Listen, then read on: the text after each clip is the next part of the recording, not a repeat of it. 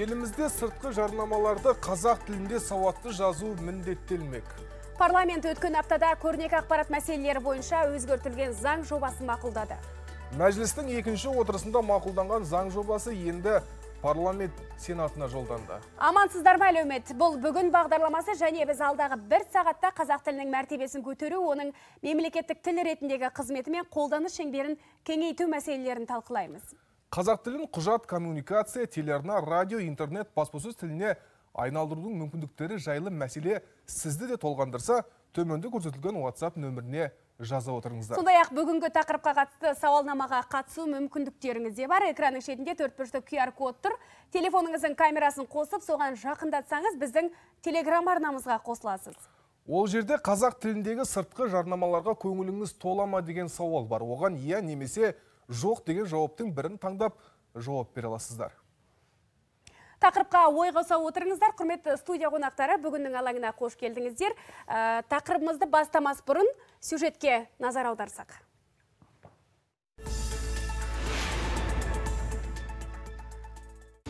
Елімізде жол белгілері, маңдайшалар, ас мәзірі, баға көрсеткіштері және жарнамалық хабарландыруларды ең алдымен қазақ тілінде жазуға міндеттейді. Мемлекеттік тілдің мәртебесін көтеру мақсатында парламент мәжілісінің жалпы отырысында көрнекі ақпарат мәселелері бойынша өзгерістер мен толықтырулар енгізу туралы осынау заң жобасы екінші оқылымда мақұлданды.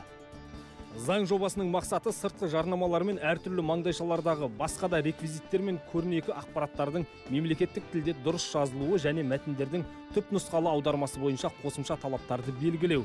Осыған байланысты нақты талаптар енгізілді.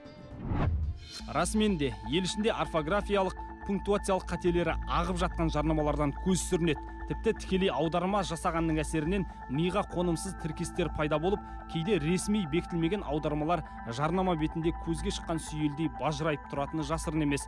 Бұл заң жобасы күшіне енетін болса орыс және өзге де тілдерге қажет болған жағдайда ғана аударылатын болады. Сюжетті Иә, әңгіме. Қазақстан Республикасы кейбір заңнамалық актілеріне көрнекі ақпарат мәселелері бойынша өзгерістер мен толықтырулар енгізу туралы заң жобасы жайында болып отыр. Мәжілістің әлеуметтік мәдени даму комитеті осы заңның жұмыс тобы болып бекітілген. берік аға әңгімені сізден бастасақ көрдіңіздер түрлі талаптар бар деп сюжетте айтылды бұл заң жобасының артықшылығы қандай өзіңізден естейікші енді бүгінгі күні ә, жалпы қазақ тілі мәселесі мемлекеттік тіл ретінде әлі де өзінің толыққанды мәртебесін ала алмай келе жатыр деп айтуға болады. Бұл ә, мысалға қаншалықты біз қазақ тілі деп айтқанымен бүгінгі күні ә, бұл үлкен кешенді мәселе. Соны біз бір жолын ғана міне үкіметпен бірге қарастырып қабылдадық. Бұл көшедегі жазылып тұрған қазақ тіліндегі қате сөздер. Бұл шын мәнінде ұлтқа ұлттың намысына тиетін сөздер. Е, қазақы өз елімізде тұрып қате қате көшеде болсын дүкенде болсын қазақ тілінде қате жазылуы орфографиялық нормалардың сақталмауы және сонымен қатар кейбір осы біздің кәсіпкерлердің көбінесе сондай жауапкершіліксіз қарайды. Аудара салады гуглдан. Қарамайды ана товардың затын. Маңызды И емес сөйтіп, иә қоя салады. И былай қарасаңыз қазақша тексереді. Қазақша сияқты бұрын талап болған жоқ. Түп нұсқаға ә, сай болу керек. Екінші қате болмау керек деген мысалы үкімет көтеріп біз оған қосымша ә, жалпы кеңе тілдің ә, осы көрнекті ақпараттағы соның ішіндегі жаңағы тіпті менюға дейін соңғы бір дау дамайда көтерілді ғой. Кірсе меню бізде ондай бір жоқтығын міндетті түрде. Қазір қазір міне соны да жазып қойдық. Енді соған мәжбүр болмыз тіпті соны жазуға. Кірді ма меню қалғанын қасына орысша жазады ма ағылшынша жазады ма қытайша жазады ма өзі біледі. Бірақ міндетті түрде қазақша болу керек дегенді міне заң арқылы талап етейік. Ертең барып сіз барып менюде қазақша қайда бұл сіздің талабыңыз. А енді заң түрінде талап етеді құдай қаласа қабылданғаннан кейін. Оны орындамаса оған ескерту жасалынады ә, жаңағы айыппұл төленеді. Сондықтан кәсіпкерлерде енді ә, тілді насихаттай білудің бір ә, тетігі ғой ол да. Сондықтан ә, бүгінгінің артықшылығы ең бірінші осы қанша көшеде қазақша дұрысталып сауатты жазылып жатса орысшасын қажетті болғанша дегенім сонда оны оқып жүріп та олар үйрене, үйренеді жаңағы жол жолдардағы знактарды да қазақша жазу керек дегеніміз сол. Сосын түп нұсқа қазақ атын аударуға болмайды. Ә, транслитератор болған бұрын. Мысалы қарағандыны караганды деп жазуға болатын тұғын. Біз алып енді болмайды караганды деп. Қарағанды ма қарағанды? Абай көшесі ма абай деп абая емес абай даже улица абай деп айту керек дейміз біз мысалы иә иә қонаев болу керек сол өз түп нұсқасында қалай түп нұсқа солай болу керек қазақша біз ана аққұлы деп мысалға айтып сол аққулы деп аудармайды енді аққұлы деген сол қазақша бірақ ол орысша болмайды деген емес ол заречный деген көше заречный болып қала береді бірақ қазақ тұмсығын орысшаға ауыстырмайды. Бейбіттер бейбут оралдар арал иә тәуелсіздік тәуелсіздік деп ол ол ол енді ұлтқа намысқа тиетін заттар ғой. Ол сол түп нұсқа қазақ тілде қалай бар солай жазылады. Қасына улица стрит деп жазар бірақ вот негізгі бір, жаңа өзіңіз қойған сұрақтың ерекшелігі сол. Ал заң жобасы бұл ше, заң түзетулер? жобасы сіз айтып отқан мәселелерді толық шешеді деп сенесіз ба бұл заң. Мемлекеттік тілдің мәртебесіне әсері болады ғой. жоқ бұл жалпы мемлекеттің мәртебесінде көп әлі. Бұл бір бір бөлігі ғана ғой бұл, бұл бір тетігі ғана біз тек көрнекі ақпарат арқылы ғана. Бұның басқаша жолдары көп қой мемлекет тілдің қазақ тілін әлі дамуды талап етуді күшейту. Ә, оны насихаттау жұмыстар өте көп. Біз ә, бұл ең бірінші заң бұл заңның орындалуын біз бүкіл қоғам болып соны қамтамасыз етуіміз керек. Ол тек қана прокуратура сот немесе үкімет емес әкімшілік. Бүкіл қоғам болып міне заң қабылданды ма соны талап етуіміз керек соны қолдануын қамтамасыз етуіміз керек қоғам ретінде әрбір азамат ретінде. Сондықтан заң болған соң ол міндетті түрде орындалу керек. Кәсіпкерлердің жауапкершілігін күшейтеміз осылай. Кәсіпкер бір жағынан екіншіден әрбір азаматтың жауапкершілігі. Ендігі немқұрайлы болмау керек. Қате көрінді ма оны дұрыстату керек. Ол қатеге айтып жүрміз ғой біз күліп күліп үйреніп кеттік та бір үйреншікті нәрсе емес. Ол күлетін нәрсе емес жылайтын нәрсе ғой ол мысалға. Балалар да өсіп келе жатыр көреді қате қате. Солай шығар деп бір мектепте жазады ертең мен көшеде көрдім осылай жазылатын деген сияқты болмасын. Сауаттылықты көтеру сауатсыздықты қазақ тіліндегі. Ғабит мырза отыр сізге қояйықшы сұрақты. Осы уақытқа дейін бұндай мәселелер бары айтылды жазылды берік ағамыз айтып отыр.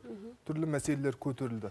Осы уақытқа дейін дәл осындай былайша айтқанда проблемаларды шешудің басқа да жолдары болды ма? Сіздер не жұмыс істей алдыңыздар? Иә былай деп айта- ат- айт- ат- атайық айтайық.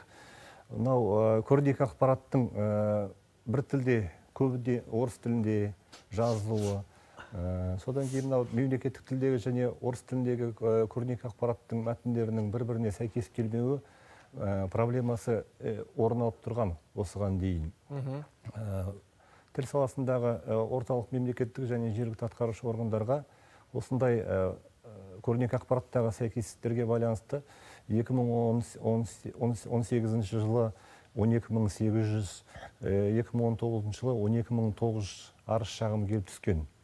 Осыған байланысты Қазақстан Республикасының үкіметі ә, 12900 шағым бір ақ жылда 19 жылы иә осыған байланысты қазақстан республикасының үкіметі 2020 жылы 30 қазанда ә, өз қаулысымен мәжіліске парламент мәжілісіне қазақстан республикасының кейбір заңнамалық актілеріне көрнекі ақпарат мәселелері бойынша өзгерістер мен толықтырулар енгізу туралы заң жобасын енгізді. Бұл заң жобасының негізгі мақсаты орфографиялық дұрыстықты қамтамасыз ету және мемлекеттік және орыс тіліндегі көрнекі ақпарат мәтіндердің тең түпнұсқалығын қамтамасыз ету болған. Содан кейін бұл жерде ә, берік мырза айтқандай ә, енді жалпы сіздің сұрағыңызға жауап бере кетейін. Тіл комитеті білім және ғылым министрлігі тіл саясат комитеті әкімдіктермен бірлесіп біздің енді былай тікелей құзыретіміз болмаса да біз осындай жаңағындай сәйкес келмеулерді сәйкес келмеуді жою соның алдын алу мақсатында ә, кәсіпкерлерге әдістемелік көмек көрсетіп отырамыз. Барлық өңірлерде тиісті колл орталықтар жедел желілер жұмыс істейді.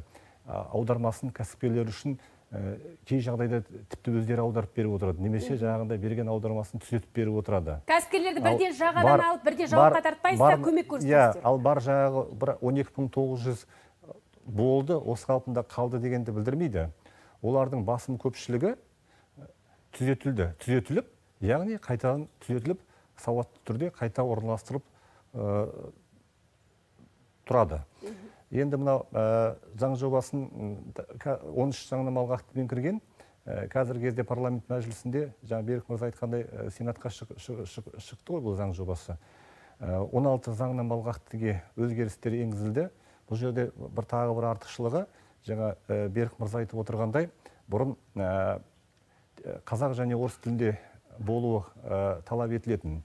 Енді мемлекеттік емес ұйымдардың бланкілері маңдайшалары сонымен қатар хабарландырулар жазбаша жарнама меню прескурант баға көрсеткіштер тағы басқа, көрнекі ақпарат түрлерін қазақ тілінде қажет болған жағдайда орыс және немесе басқа тілде жазуға бұл заң жобасы мүмкіндік береді. Бұл конституцияға қай- қайшы келмейді. Конституцияның жетінші бабының екінші тармағында мемлекеттік ұйымдардың қызметінде ә, мемлекеттік тіл және онымен тең ә, орыс тілі қолданылады деп жазылған. Мемлекеттік емес ұйымдарға келетін болсақ ол туралы тіл туралы заңның сегізінші бабында айтылған. Ме- мемлекеттік емес ұйымдардың қызметінде ә, мемлекеттік тіл және қажет болған жағдайда басқа тілдер қолданылады деген. Яғни заңнама талаптарына толық сәйкес келіп тұр. Түсінігіміз бойынша Яғни- тек қазақша? яғни ол былай болады қажеттілік бойынша. Яғни ә, бұрынғы кездері мысалы ә, бір сөздерді жазатын болсақ жарнаманы бұның енді басқа тілдегі варианты қайда деп талап етеді ғой. Яғни ә, тек қазақшасын берсеңіз де ә, қазақшасы мен орысшасын қажеттілікпен берсеңіз де немесе қазақшасы мен ағылшыншасын бере салсаң- берсеңіз де бұның бәрі талапқа сәйкес болып тұр. Тек қана қазақша бере мысалы саламыз. ауылға барасыз ғой. Мен, мен ауылда істедім жарнама міндетті түрде екі тілде талап етеді. Жазса бұны маңдайшасында а қазір олардан талап етпейміз. Оған текке шығын. Ол бәрін қа- түсінеді ана қазақша да түсінеді сол жердегі орыстар болса орыс тілдер дейікші енді сондықтан біз оған шығын емес енді бір тілде міндетті түрде жазу. Жазады екіншісін өзі біледі. Жаза ма жазбай ма? Қалаларда енді жарайды бір екі үш тілде беріп жатар. Бірақ ауыл жерлерде мынау қазақи жерлерде оны мәжбүрлеу басқа тілде жазу енді ол дұрыс емес кез келген көрнекілік құралы біздің ана тілімізде мемлекеттік тілде жазылса болды. Міндетті иә. түрде, иә. Басқа тілде екіншісін талап өзі етіп біледі. жатса, ешкім мәжбүрлемейді. «Е, екі тілде жаз. Бұрын біз мәжбүрлейтін тұғын. Екі тілде болсын деп. Енді мәжбүрлемейді. Құдайға шүкір бізде үкіметтің айтуынша бізде тоқсан пайызға дейін қазір қазақша түсінеді дейді біледі дейді. Онда неге ауыстыра бермейміз? Ақырындап деген мәселе ғой. Бәрі оқи алады солай ғой ба Иә, мемлекеттік емес ұйымдарға қатысты. қазақша оқиық дейміз. Ол мектептің деңгейіндегі де сөздер ғой анау нелер маңдайшалар рекламалар. Оны не үшін мәжбүрлейміз? Біз оны басқа елдің азаматтары үшін емес қой. А бірақ егер де жаңағы кәсіпкер екі тілде жазамын десе жазсын өзі біледі солай ғой біз қазір нарықтық зам- заманда тұрамыз ғой ол бір жағынан би- бизнес немесе нарық өзі шешеді мен мысалы бес жыл бұрын түркістанда болдым түркістанда бүкіл жас, жазбалар тек қана қазақ тілінде болды тек қана қазақ тілінде болды бірақ қазір қараңызшы бизнес түсінеді туристер мысалы ресейден келеді басқа жерлерден келеді ба- басқа мемлекеттерден және қазір бүкіл жазбалар үш тілде минимум үш тілде. Өйткені қазір түркиядан да көп туристер келеді төртінші тілі түркия ә, түрік тілі пайдаланады. Сол себебі менің ойымша ол мәселе емес жалпы әрине бүкіл әлемде ә, ең бірінші орында ол мемлекеттік тіл. Бүкіл жазбалар мемлекеттік тілде болу керек. Бірақ басқаларды бизнес немесе халық қоғам өзі шешеді клиент тарту бойынша иә. А сізге қиыншылық тудырмайды ғой? Қазақ тек қана қазақша жазылып тұрса не жазылып тұрғанын түсінесіз ғой? Мен үшін әрине мәселе емес. Кейбір жазбаларды мысалы аптеканы мысалы дәріхана емес мысалы аптека менің ойымша міндетті түрде ағылшын тілінде де жазу керек. Өйткені кейбір а, шетелден келген қонақтар ол денсаулыққа қатысты ғой. Олар мысалы дәріхана деген жазбаны түсінбейді. Менің ойымша кейбір жазбаларды ол мысалы денсаулыққа қатысты немесе өте маңызды а, нәрселерді міндетті түрде ағылшын тілінде де дәріхананың өзінің эмблемалары бар былай жазулары бар содан ақ білмей ме? Жоқ негізі қазір ә, бүкіл әлемде ке- кейбір әлемде сондай нәрселер бар кейбір жоқ. Сол себебі ә, әріптермен де ә, жазу керек менің ойыңыз түсінікті. Баршаға қолжетімді баршаға түсінікті қазақша және ағылшынша жазсын деп жатыр ғой. орысша керек жоқ па? Қазақша жоқ сұранысқа қарай жазуға болады деп отыр ғой Аптека- яков. аптека ма? Жаңа айтып қалдыңыз иә, заң жобасы сенатта қаралып жатыр ғой. Екі айдың төңірегінде бекітіп қалуы мақұлдап қалуы әбден мүмкін. Иә. сүйінші хабар күтеміз өздеріңізден. Бірақ ә, егер бұл талаптарды орындамаған адамдарға айыппұл салады деді. Айыппұл көлемі анықталды ма? біз бұл жолы оны қабылдаған жоқпыз бұрыннан бері бар. Ол міне жаңа ғабит түсіндіріп берді ол әкімшілік кодексте жетпіс бесінші бапта ә, бұрыннан бері бар. Қанша айлық есептік көрсеткіш? біз оны дұрыс қолданбай келе жатырмыз. Ол ескерту бірінші иә? Екінші айыппұл. Бір жылдан кейін бірінші ескерту айыппұл салып жатқан егер сол ескертуін жоймаса сол немесе сол жаңағындай талапты бұзушылығы бір жылдың ішінде қайтадан қайталанса ә, екінші рет қайталанғанда бір жылдың ішінде сол кезде жаңағындай айыппұл оның жаңағындай көлемдері әртүрлі. Жеке тұлғаларға қатысты бар жеке кәсіпкерге ірі бизнеске әртүрлі бөлек бөлек. Бес есептік көрсеткіштен басталады жеке тұлға. Ары қарай бизнеске жоғарылай береді. Ә, Қазақстан президенті Қасым Жомарт Тоқаев халыққа арнаған жолдауында қазақ тілін дамыту мемлекеттік саясаттың басым бағытының бірі болып қала береді.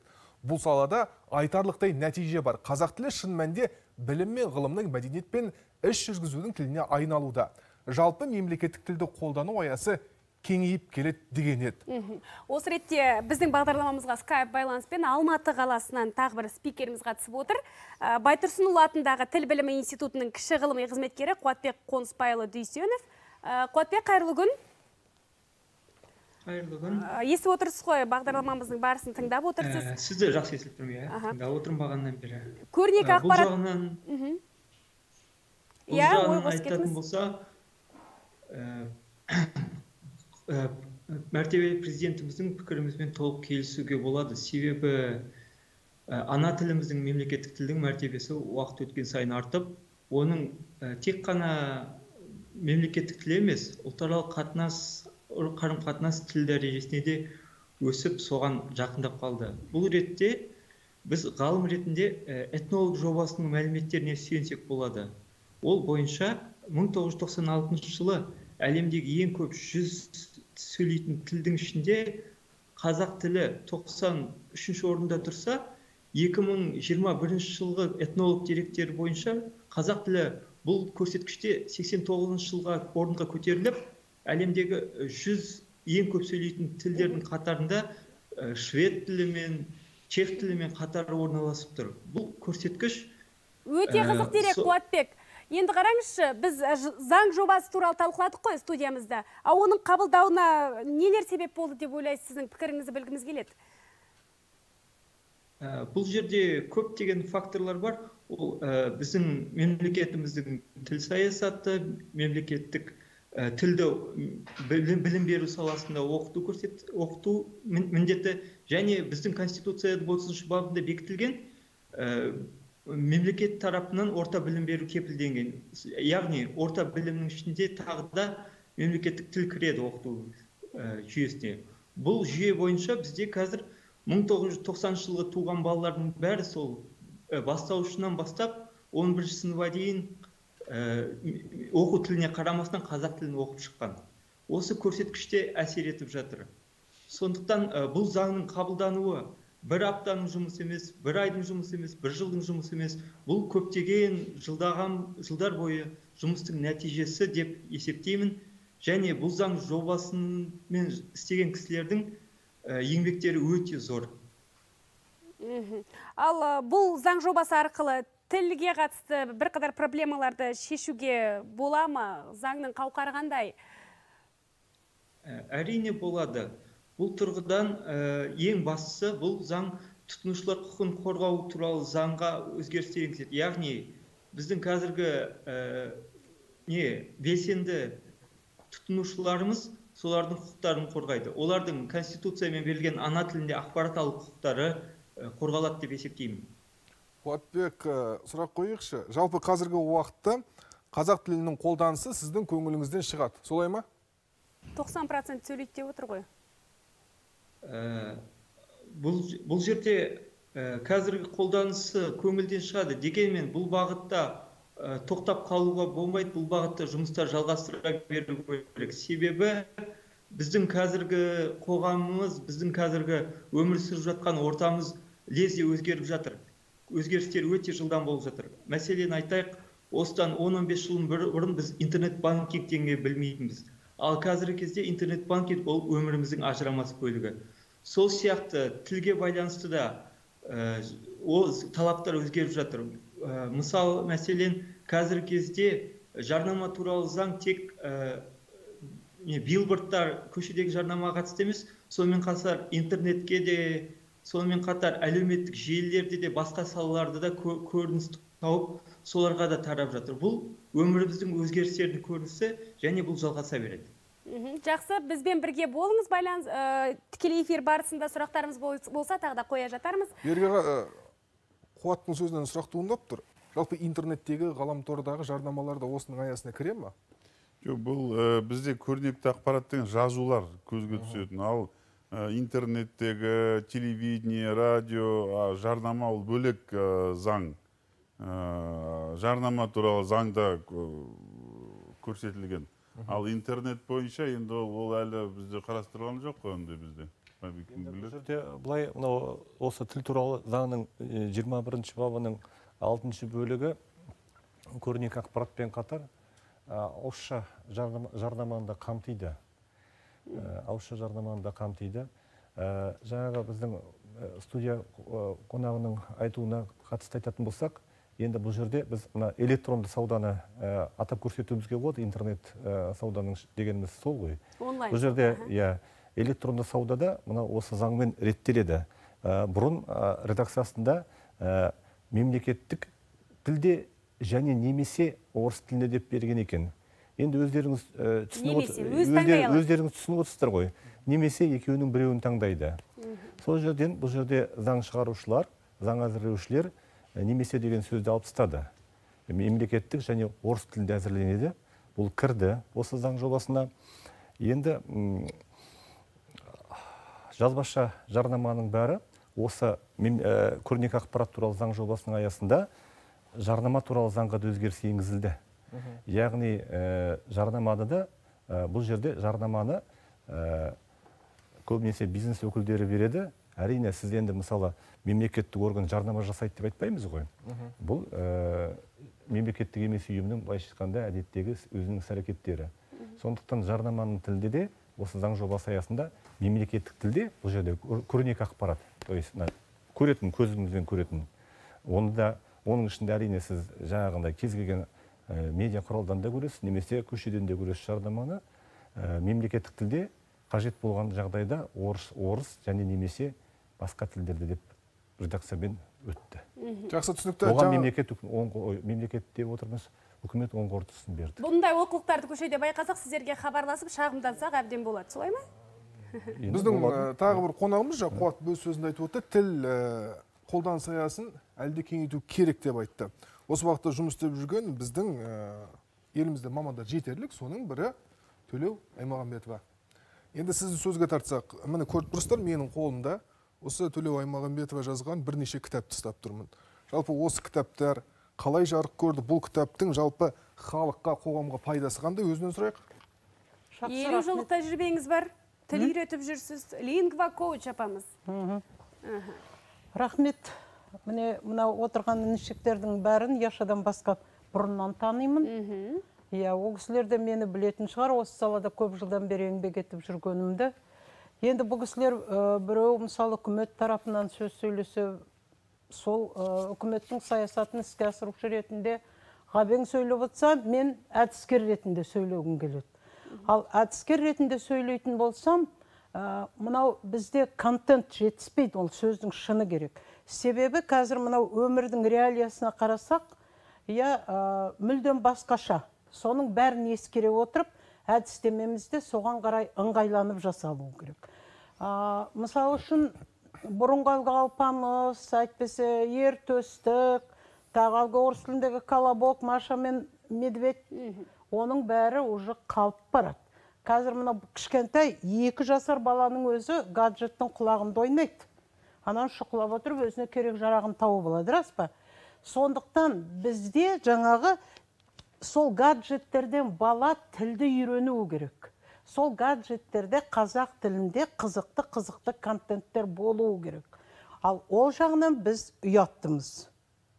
Ол жағы бізде ақсап жатыр. Ол бірінші. Сол себепте мен осы балаларға кішкене көмегім болсыншы деген ниетпенен мен ә, 25 ертегі жаздым. Мынау қазіргі заманға сай заманауи қылып келтіріп. Бірақ енді осыны шығаратын менің өзімнің оқушыларым көмектесті өз тараптарынан ақша бөліп берді мінекей солар шығарып берді. Жаңағы 25 ертегімнің бәрін мынаған сыйғыза алмады. Себебі бала мына кітапты аударады төңкереді сүйреп жүреді. Сол себептен мұқабасы мықты болу керек деді. Мұқабасы қалың болғаннан кейін ол әрине қымбатқа түседі. Оның ішінде ішіндегі иллюстрация бірде бір кітаптың парағы иллюстрациясыз болмау керек. Ал енді осы иллюстрациялардың бір бір парақтағы бағасы керемет 13 мыңнан. Сондықтан бұл әрине жаңағыны қалың қылып шығарсақ оны сатып алатын ата ананың қалтасына да ауыр тиеді. Сол себептен маған жаңағы баспагерлердің айтқаны бесеуден шығарайық деді. Сол себептен мынау сол ертегілердің бірінші бес несі. Ішіңкі мазмұнына үңілсек ішіндегі мазмұнына үңілсек мына жерде мына өзі мына ертегінің аты да айтып тұр ауылдағы данагөй аталар мен әжелер. Міне бұл жерде жаңағы жас бала қаладан келіп атасымен әжесінен ә, бірге жүріп сөйлесіп жүріп жаңағы бұл табиғатпен бесеу ақ мұндай кітап иә одан кейін бұзауыз деген мадияр мен аңсар орманға кіріп кетеді жаңағы баланы арасында жаңа еңбекке баулып ауыл шаруашылығына икемдеу дегендей мақсат жатты ержанат аяқ киімді дұрыс киюді қалай үйренді мейіріммен тіс щеткасы мына жерде санитарлық гигиеналық не э, көзделіп отыр.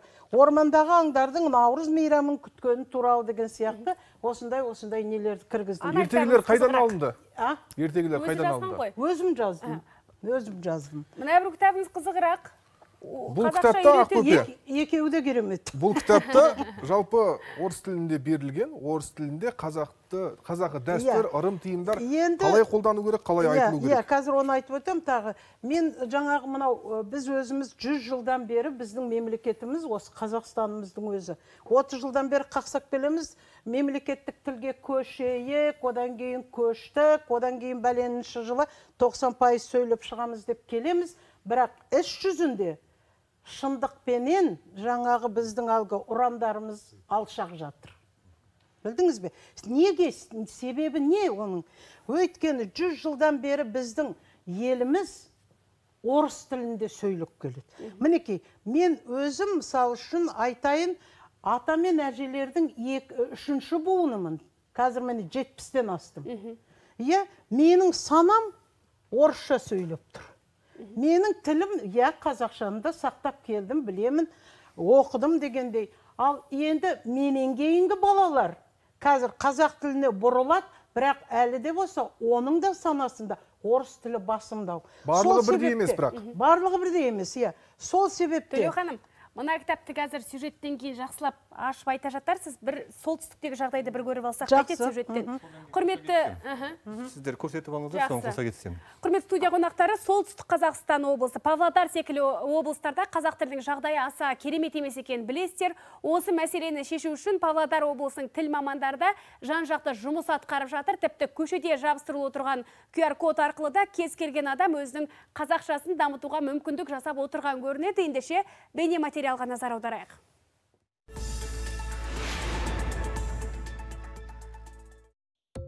Павлодарда қала тұрғындарына қызмет көрсететін мекемелерде арнайы кодтар бар плакаттар орналастырылды. Сол арқылы оқу материалдары бар сайтқа кіруге болады. Ана тілі орталығында павлодарлықтар өздерінің қазақ тілін меңгеру деңгейін жақсарта алатын әдістеме әзірленген. Орталық директоры және оқулық авторы Шолпан Кенжикованың айтуынша жобаны құрастыруға бір жарым ай уақыт кеткен.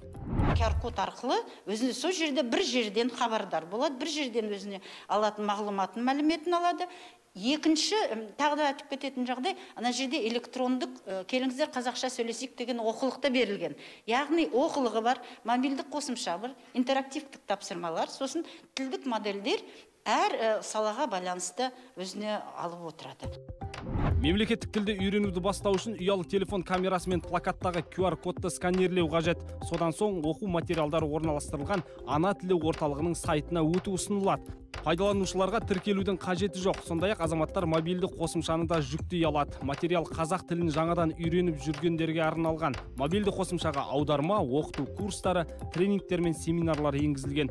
Бүгінде Павлодарда QR коды бар плакаттар сауда үйлеріне, қонақ үйлерге, вокзал мен ірі мекемелерге жабыстырылды.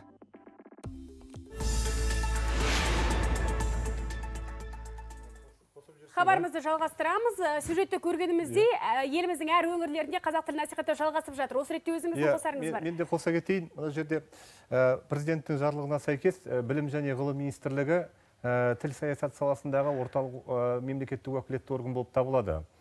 Қазіргі кезде білім және ғылым министрлігі тіл саяс- саясаты комитетінің тарапынан ересектерге және балаларға арналған біз балаларға арналған медиа контентті де айтып от- айтып отырмыз ғой 11 м, ә, тіл үйрету IT жобалары жұмыс істейді. Оның ішінде балаларға айтатын болсақ, бала тілі кезет деген ә, біздің ә, веб жүйеміз ә, балалар ала- арасында кең таралған.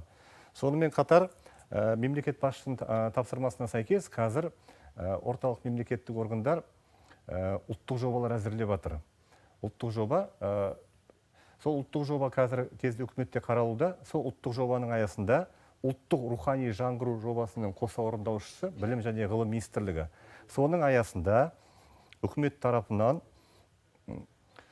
IT ә, жобалар ә, әзірлеу жөніндегі ә, арнайы жоба қолдау тапты.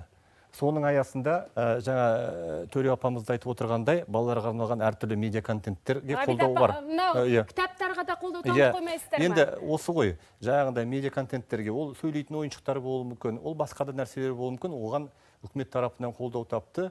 Ә, ұлттық жоба алдағы уақытта қол қойылады деп ұлттық жобаға қол қойылады деп жоспарланып отыр. Сол кезде бұл жоба жүзеге асатын болады. Мына бес кітап ертең жүз кітап болып шығуы жүз кітап болып шығады мың дана болып шығады одан да көп шығады. Алла жазса осының бәрі болады. Содан Уәде кейін беріп отырған сияқтысыз, содан кейін әртүрлі жобалар бұл жерде іске асатын болады. Сонымен қатар қазір барлықтарымыз ақпараттық өрістен байқап отырмыз ғой. Ақпараттық кеңістіктен дұрыстап айтқанда қазақ тілінде. Ақпараттық кеңістіктен мына өздеріміз де естіп қуанып отырмыз. Жуырда ақпарат министрлігі де балаларға арналған жекелеген а, телеарналарды қазақ тілінде сөйлетпек екен. Бұл да балаларға арналған медиа контент қой. Әрине жақсы иә. жұмыстар жүріп жатыр үкімет жаңалықтарыңызбен бөлісіп отырсыз ғой төле күлдіңіз ғой. Ғабекеңнің енді біз өзі негізі бар ғой төзімдіміз. Мұғалимат ана не берген уәденің бәріне өзіміз тойып жүре береміз. осы уақытқа дейін тойып келген адамның бірі менмін. Бірақ бүгін өзіңіз, жақсы лебіз естіп әлі де болса үмітімізді ұлттық жоба аясында Иә. жаңағы айтайын дегенім сөзімді жалғастырайын. Міне жаңа жүз жыл бойы біздің мемлекетіміз халқымыз орысша сөйлеп орысша ойлап келді. Енді былай менің алдыма келетін өзі мен аз жарнама жасамаймын әлгі сарафанная молва дейді ғой. Сол солар арқылы келген оқушылардан бас ала алмаймын. Мінекей сонда менің байқағаным бәрінің де несі? Алыстап кеткен анау біздің мәдениетімізден алшақтап кеткен. Кім? Мынау қазақ тілін үйренем деген әрбірдесін өзіміздің қазақтар. Білдіңіз бе? Мына басқа ұлтты былай қойғанда. Одан кейін оның ішінде ділі бөлек ділі бөлек. Кейде жаңағы жігіттердің қыздардың келіп айтып отырған сөздерін естігенде жылағың келеді. Бір жігіт келді керемет шетелде оқыған оксфордты бітірген. Мені дейді бастығым сізге қазақ тілін оқы деп жіберді дейді мен айтамын бұрын неге оқымадың? Ну я считал это ненужным для себя дейді ал енді қазір неге келдің? Сосын айттым бүгін бірінші сенің тапсырмаң саған үйге беретін тапсырмам руыңды білесің бе? Ру- руыңды білесің бе? Білмеймін дейді мне это не нужно дейді ал енді сен осыны зерттеп деймін ата анаңнан сұра «А да у меня и родители не знают дейді ендеше сенің ата анаңның туған туыстары бар шығар ағайыны бар шығар солардан сұрастыр деп. Ертеңінде келіп тұр. Күлкілі жағдай бірақ жылауға аз ақ қалдың қалдым. Я оказывается найман дейді.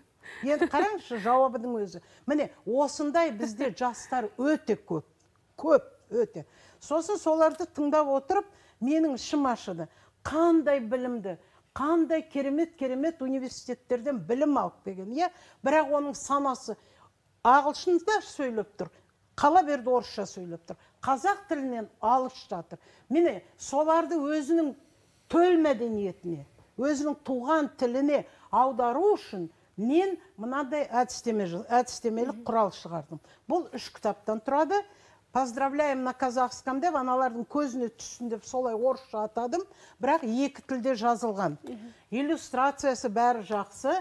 Бұны маған шығаруға көмектескен ә, бизнесмен өзімнің оқушым ерлан оспанов деген азамат. Бұл мінекей неше дана? мың дана қылып шығарып берді. Былтыр мен жетпіс жылға толған маған жасаған сыйлығы болды. Ал енді бұның ішінде айтатыным мынау бірінші кітапта тек қана балаға қатысты тойлар. Жарыс қазан шілдехана бесік Дәстүр. той төлеу ханым сіз деген министрлерге қазақша үйретіп жүрген бірден бір коуч маман емессіз ба Иә. қалай нәтиже бар ма? Әрине бар. Бар. Сөйлейді.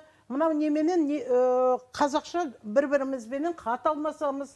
Бар. Бірақ ол маған да жақсы болар еді. Ол кісілер мысалы үшін не беріп жатса келісім беріп жатса. Мен жаңағы осылай осы кісіден қазақ тілін оқып жүрмін десе маған керемет жарнама болады ғой. Бірақ ол кісілер мынандай көпшілікке шығуға ұяла ма намыстана ма бас тартады. Қанша уақыттың ішінде тілді үйреніп ала алады емін еркін? Енді ол деңгейіне байланысты. Мысалы үшін күнделікті ауыз екі ғана сөйлеп дүкендегі қажетін өтеймін десе поштаға барып тағы да бір басқа жерлерге мына көпшілік жерлерге барып сол жерде өзінің қажеттілігін өтеймін десе соны бір екі үш айда үйреніп алуға болады. Сіз айтасыз Ал- э, қазақ тілін орыс тілі арқылы үйрету керек деп неге? Э, қазір айтамын. Сосын ал енді одан тереңірек білгісі келсе тереңірек білгісі келсе оған да әдістемем бар. Грамматикадан өткізіп аламын бастан аяқ база. Сосын жаңа грамматикалық неге сүйеніп отырып мен оны кітап оқуға шығарамын кітап оқудан ол қандай машықтарды үйренеді? Мына кітаптың ішіндегі ақпаратты это орысша айтқанда извлечение из- информации дейді соған үйретемін содан кейін өз бетінше оқуды үйретемін өз бетінше оқып осының ішінен өзіне қажетті ақпаратты іріктеп алатындай неге келтіремін бұл екінші енді жаңағы уақыт тығыз шығар мына сағатқа да қарап қойып жатсыздар. Сол себепті жаңағы сұрағыңызға жауап берейін. Жүз жыл бойы біздің еліміз тағы да қайталап отырмын орыс тілінде сөйлеп келді. Санасы ділі тілінен басқа ділі де басқа мәдениетте басқа менталитетте жүр. Соларды көріп қандай қандай азамат қандай қандай жігіттер ағылшын тілінде орыс тілінде ағып тұр. Шіркін ай осылар қазақ тілінде неге сөйлемейді? Деп жаңағыдай ептеп сөйлес, сөйлесіп сұрастырсам біреу қиын дейді біреу әдістеме жоқ дейді. Енді түрлі сылтаулар айтады. Сонда қарап отырсам өзінің мынау мәдениетінен алшақтап кеткеннен кейін мынаған несі жоқ? Құлқы жоқ. Құлқы жоқ. Сол себепте солар сол құлқын э, құлқын ояту үшін э, ынтасын ояту үшін қызығушылығын ояту үшін мен осы кітапты жаздым. Әуеле жаңағы қазір өзі сөздің шыны қазақ тілінде тілек айтқанды жақсы көреді. Мынау балалардың несіне арналған? Толығыменен. Екінші кітабым осы февраль айында шығады. Ә, ә, не мынау некеге қатысты бастан аяқ ол кітабыңыз шыққан соң осы жерде тек таныстырылымын өткіздік иә. Үздіксіз шыға берсін кітаптар. ә, біттік тындық деп ә, құр ауыз сүртпейміз. Жоқ. жағдай жаман емес. Бірақ сіздің бір сөзіңізбен қосылуға болады. Ә, қазақ тілді контенттерден ұяттымыз деп қалдыңыз. Иә. Осы пікірге яков та қосылатын сияқты. Солай ма? Иә әрине мен келісемін. Ә, бізбен бірге тіл комитетінің өкілі отыр. Сол себебі ашық айту керек. Расында бізде контентпен мәселелер өте көп. Мысалы иә әрине менде күмәнім жоқ. Ә, мемлекет өте көп жұмыс жасайды. Бірақ бізден тіл үйренетін адамдардан сұрамайды. Бізге бұл контент қызық па қызық емес па? Өйткені мысалы балалар қазір телеарнасы немесе QR мен интернетке кірмейді ғой. Олар ютубтан шықпайды. Сол мүмкін бұл контент жасаған. Бірақ ол кент таратқан емес. Өйткені ол балаларға әлі қызық емес. Жасап жатырмыз атқарып жатырмыз деп айтады бірақ ол пайдаға асып жатқан жоқ. Иә формальды түрде, түрде жасап жатыр бірақ расында қызық контент жоқ әлі. Өйткені тек қана контентті емес зерттеуін жасау керек. Бұл контент мысалы немесе методика ол жақсы ма жақсы емес па? Қазір мен мен үшін мысалы осындай ұстаздарға мен ә, осындай ұстаздарға те- ә, алғысым шексіз. Өйткені бізге мысалы тіл үйренетін адамдарға осындай методикалар керек осындай кітаптар керек. Сол себебі мен расында таң қаламын неге мемлекет осындай жобаларды қолдамайды. Қолдайды деп айтып отыр ғой. бір ауыз сөз айтып кетейін иә? Мысалы үшін жаңа сіз айтып отырсыз ғой контент өте бай болу керек. Мынау ә, тілді негізі үш жасқа дейінгі бала үш мың сөз меңгеріп алады. Қай тілде болмасын. Сондықтан мен оны жаңағы шығатын тіл қазір қазақтың да үндінің үндістің да тілі қай ортада жүрсе сол тілде шығады ғой. Біздің қазақтың балаларының тілі орысша шығып жатыр иә? Мысалы үшін. Сонда біз неге сол орысша шығып жатқан тілді контент арқылы қазақша шығатындай қылмай сондай жағдай туғызбаймыз? Білдіңіз бе? Ол бірінші. Екінші мынандай фактор бар. Жаңағы бала жас кезінде тілді тез меңгереді. Сорып алады бойына тартып алады құлағынан естиді шешесі оны түзулейді жығылып сүрініп үйреніп жаңағы үш жасқа келгенде тамаша сөйлейді. Тіпті сөйлемнің өзін дұрыс құрастырады. Міне осы табиғи факторларды ескеру керек контент жасағанда. Үшінші мынау ә, нелер психологтар айтады иә? Мына үш жасқа дейін дейді тіл толығымен қалыптасып болады дейді. Ал физиолог ғалымдардың айтуынша бір жастан тоғыз жасқа дейінгі аралықта бала бала ең тіл үйренетін керемет феноменді тұлға дейді. Яша деп өзіңіз еркелетіп отырсыз ғой. ә? жақыптан сұрайықшы жақып аз сөйлеп қалды. Менің елім менің тілім деген қозғалыс бастады жақында. Жақсы екен. Сол қозғалыс туралы айтып беріңізші сосын кейін қысқа қысқа уақытымыз қысқа қысқа мен айтамын әрине қазір тіл, тіл үйренетін адамдарға көмек керек. Сос- сосын ә, менің ойымша біз қазақ тілді және орыс тілді қоғамымызды біріксек осы мақсатпен біз мақсатқа жетейікші бірікпей жатыр ма қазір? иә қазір ұсыныстар өте көп. Мысалы ә, сіз сияқты ұстаздар шығады. Егер жақсы методикалар болса біз видео сабақтар жасаймыз. Сосын тағы ә, қызық ұсыныстар әлі кел- келе жатыр. Біз ә, қазір әрине біз саясаткер емеспіз. Бізде көп ақша жоқ бірақ бюджет бюджетсіз де ақшасыз да көп жолдар шеш- шешетін жолдар бар екен. Сол ам, тағы э, бір- бірнеше акцияны ұйымдастырайық. Тек өзіңіз сияқты өзге тіл өкілдерін жинап үйретіп жүрсіз. А, тек қана ә, өзге ұлттар ә, емес. Ә, Үйренуге ниеті бар адамдардың барлығы. сосын мен бір бір ауыз сөз қосып кетсем. Жаңа сіздің сұрағыңызға ақыры жауап бермедім не себепте сіз орыс тілін қазақ тілін үйретуші құрал ретінде пайдаланасыз деп. Иә сіз дұрыс айттыңыз мен орыс тілін жаңағы санасы ділі тілі орыс болып кеткен немесе басқа мәдениетте жүрген адамдардың мына орыс тілі арқылы үйретемін. Себебі мынау ол неде де дидактикада да бар жаңағы психологияда да бар. На имеющемся опыте учить. То есть мынау өзінің тәжірибесіне біріншіден, сүйене отырып үйрету салыстырмалы форматта үйрету екінші тілді. Өте тиімді және өте жеңіл түседі жақсы айта кетейік. Ә, контентке байланысты ә, 2020 жылдың ортасынан бастап үкімет тарапынан балапан телеарнасының 80% кемінде ә, контенті мультфильмдер болу екендігі болу қажеттігі міндеттелген. Ә, және де бұл жерде қазір ютубты қарайтын бол- деп айтатын болсақ олар ә, ол жағында балапан телеарнасы ютубпен де тиісті шарттарға отырып өйткені олардың құқықтарын сатып алу керек қой ә, интернет желісіндегі. Оны да қазақша ә, болу жағында жұмыс жүргізіп жатыр. Сонымен олар орналастырып та жатыр. Сонымен қатар жаңа мен айтып отырған ұлттық жобада ұлттық рухани ұлттық жобасының ә, тіл саясатын іске асыру кіші жобасы аясында ақпарат министрлігі та- тарапынан ә, ютубта балаларға арналған анимациялық фильмдерді орналастыру шарасы көзделіп тұр. Енді әртүрлі тіл үйрету құралдары о- бұл бағыттарда жұмыстар жүргізіліп жатыр Ә, білім және ғылым министрлігінің үйлестіруімен ә, барлық ре- өңірлерде ә, ауызша сөйлеу клубтары ашылып жатыр бұл да жұм- бұл жұмыстар жүріп жатыр әрине алда да жұмыс істейтін жұмыстарымыз көп. Сонымен қатар ә, бұл жұмыстар ютубта да жаңағындай әртүрлі клубтарда жұмыс істеп жатыр сонымен қатар енді бізде содан кейін бір нәрсе бір нәрсені ғана иә өте жақсы қозғалыс екен Бюджетім аз Иә, дейді бірақ. иә. ә, ал жоқ енді мүлде. керек емес. Содан кейін жаңа айтып отырмын ғой әртүрлі осындай ауызша сөйлеу клубтары жүріп жатыр тәлімгерлік ә, клуб пулдар құрылып жатыр бұл жұмыстар жүріп жатыр алда да істейтін жұмыстарымыз көп.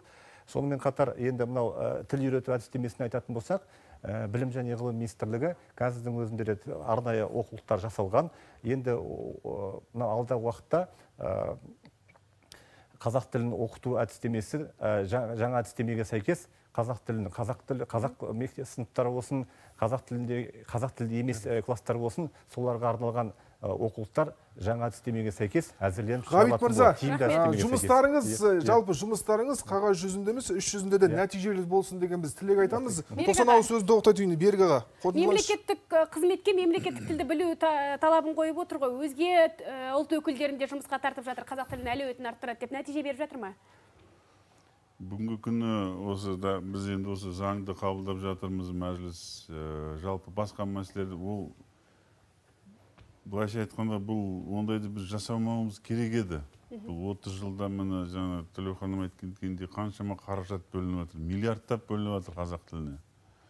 Қаншама оқу орталықтары бар өңірлерде. Оған мұғалімі бар оның күтіп ұстауы бар оған мемлекет қызметкерлерді жібереді топырлатып. Олар оқиды сертификат жұмысқа алады қайырсаңыз. жұмыстарына қайтып келеді. Бірақ әлі нәтиже жоқ. Сондықтан жақсы рахмет. Пікір білдіргеніңізге бағдарламамыз аяқталған жоқ құрметті көрермен келесі кездескенше аман сау болыңыздар. Жақсылықта жолығайық